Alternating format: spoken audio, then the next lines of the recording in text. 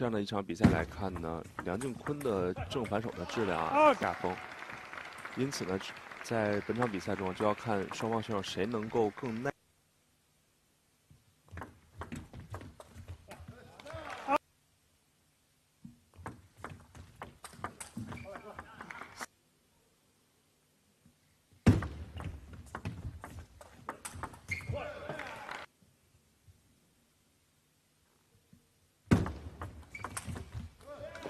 梁靖昆来说都是机会。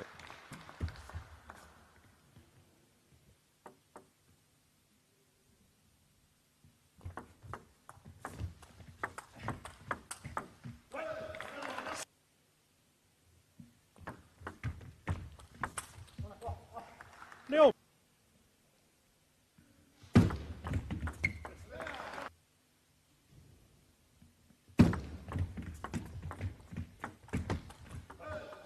比樊振东做的更好。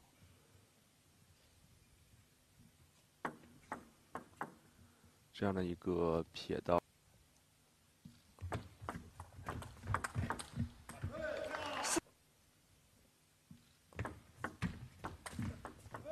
十，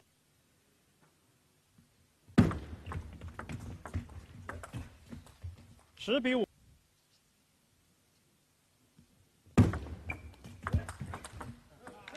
十一比五，在发球后梁靖昆坚定的侧身抢拉，这样的话，梁靖昆就以十一比五拿下了第一局比赛的胜利。双方在第一局的比赛过程中的比赛比赛啊，通常是一个以暴制暴的一个情况。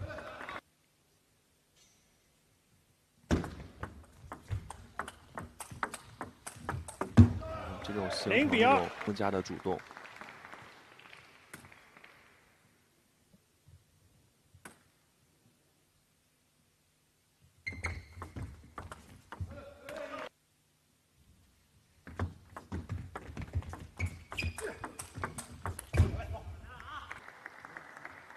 现在在绝对力量的相持上，其实樊振东已经不占上风了。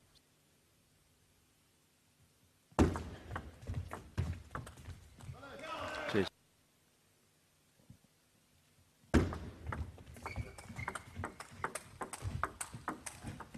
对，可以打梁靖昆来说呢，他在一些相持球或者机会球的过程中啊，很容易出现。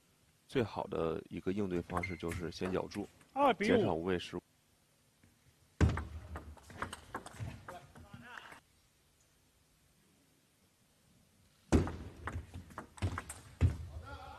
六比三。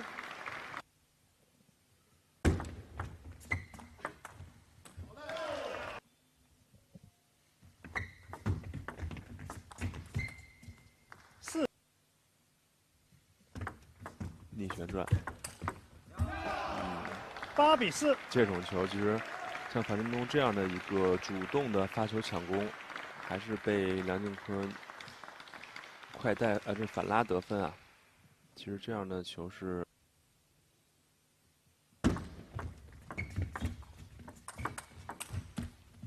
八，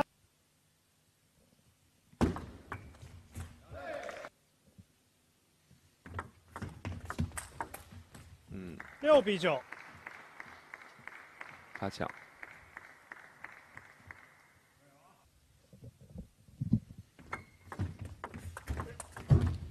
九比七。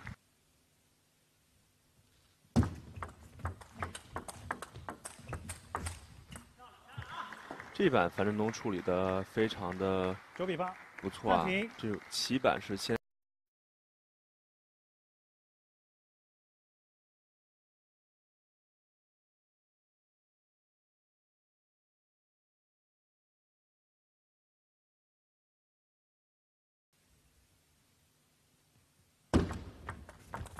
嗯，嗯，十比九，像我刚刚说，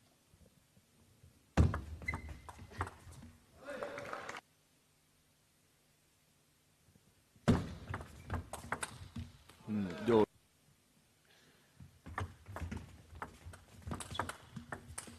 嗯，这是梁靖昆的机会啊，还是这板球其实这一板反思已经非常。精彩了，到了十一比十一。十二比十一，来到焦灼。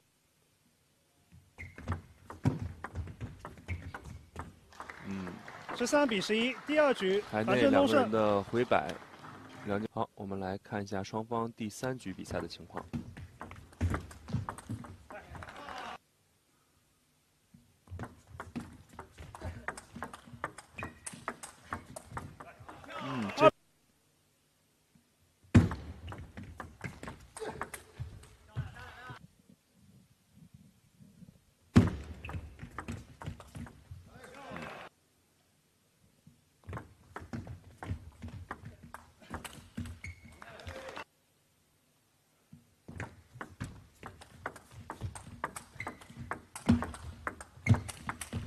对了，这样呢，的过程中没有去急于去加质量。我们可以看，在扛了两板之后啊，有一板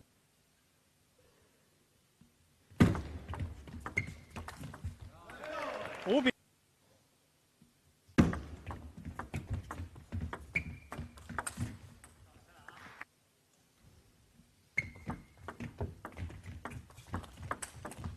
嗯，紧跟着的是一板高质量的反手快撕。好，谁能够打得更耐心，谁就能占据主动。六比四，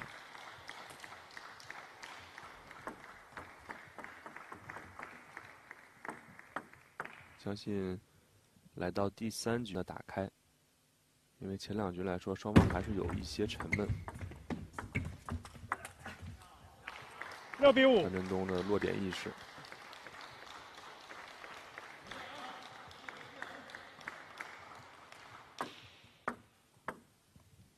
六比五，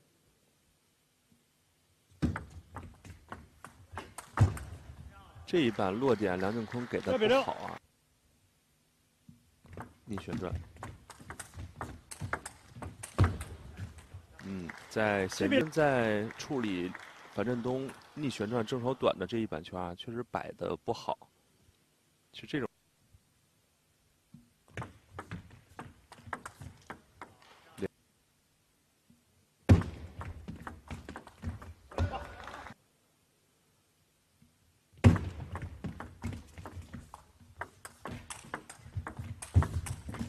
嗯，九比七，又是一板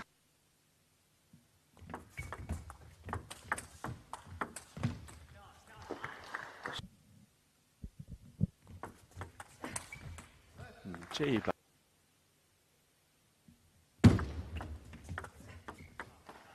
十一比八第三东劈底局线得分，这样的话呢，在第三、第四局比赛的情况，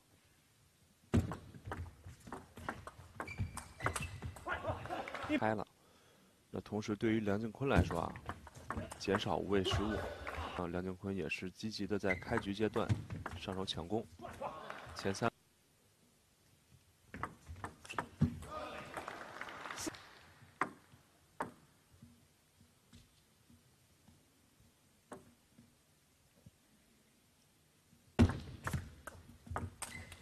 嗯，这支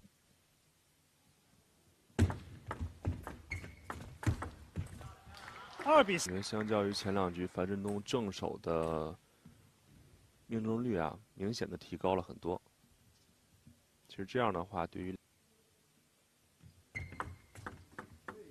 二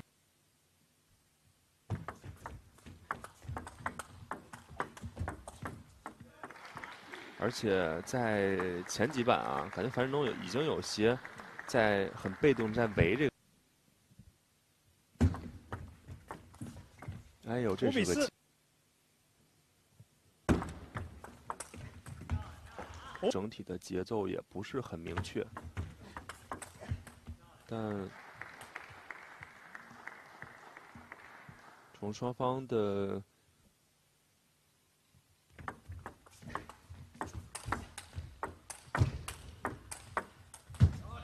六比六，对双量的相持来打开状态，也提升自己的信心。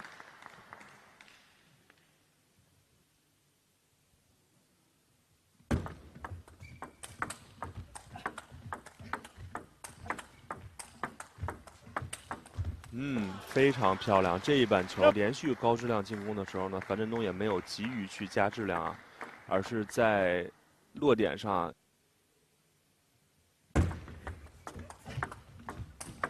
又是一板这样的一个稳健的相持。嗯，八比六这样的一个战术套路，就是扛住啊，而且回球的质量也不是很高。这个时候其实梁靖昆啊可以把。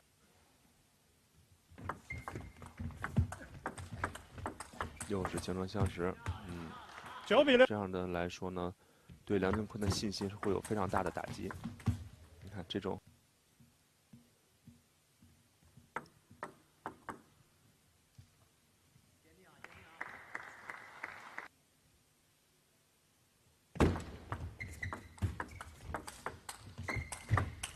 机会，双方对拉，漂亮。樊振东在中近台，嗯，七比十，还是包括在落点上也是在主动的牵制着梁靖昆。有七比十拿到了局点，确实是这一局的战术。这一板发球不好啊，暂停是，其实这个时候啊。发的这种逆，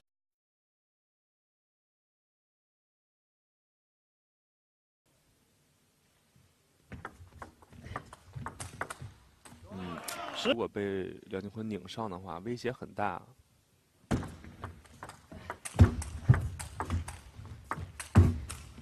漂亮，削了一板，非常的顽强啊！十一比十，非常的顽强。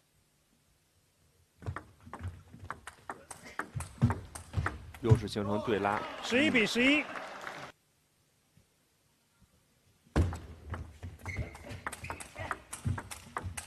漂亮！双方都是毫无简力的一个相持球啊，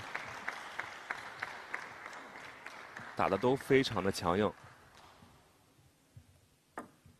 可以看出双方的弄的局点又是逆旋短。嗯，十二比十二。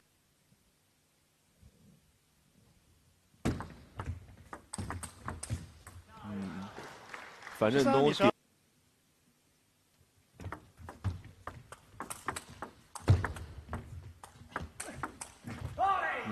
十四比十二。在顶住两板对方高质量进攻后，樊振东也是果断的转正手进攻。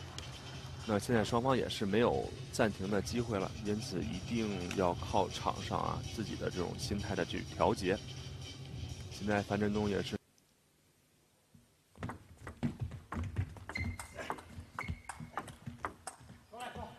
接回防，包括控制上，现在梁靖昆其实没必要去退台了。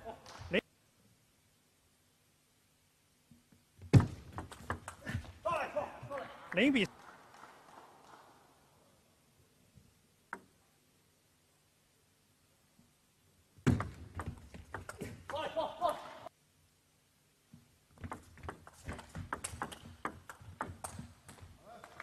进的，所以说谁能够更耐心一些啊，谁在场上的机会就会更多。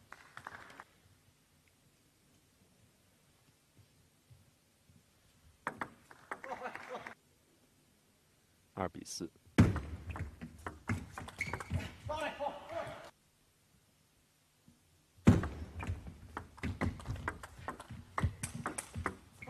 嗯，节奏当中更稳了，而且包括对于节奏的这种把控。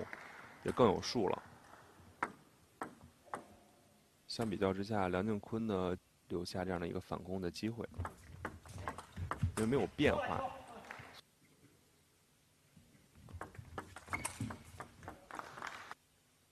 其实，在比分没拉开的时候啊，可以让樊振东先上上手啊。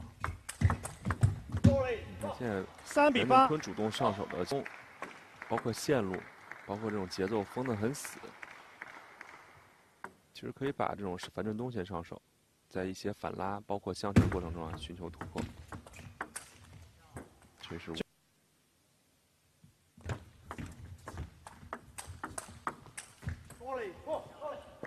局的分差还是很大的。